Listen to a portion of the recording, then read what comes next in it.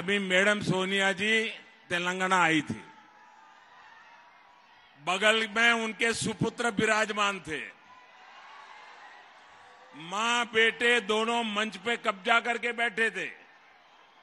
और इस सदी का सबसे बड़ा जोक देखिए, सबसे बड़ा मज़ाक देखिए, उस सभा में जहाँ बेटा बगल में बैठा है, वहाँ माँ कह रही है कि ये परिवारवादी पार्टी है टीआरएस।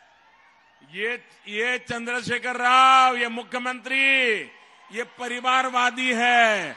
आप मुझे बताइए, ये दोनों परिवारवादी है कि नहीं है? आप मुझे बताइए, कांग्रेस के चरित्र में और ये टीआरएस के चरित्र में, ये दोनों पार्टियों में कोई फ़र्क है? कांग्रेस भी परिवारवादी है, ये भी परिवारवादी है। कांग्रेस में भी अंदरूनी लोकतंत्र नहीं है, इनके अंदर भी अंदरूनी लोकतंत्र नहीं है।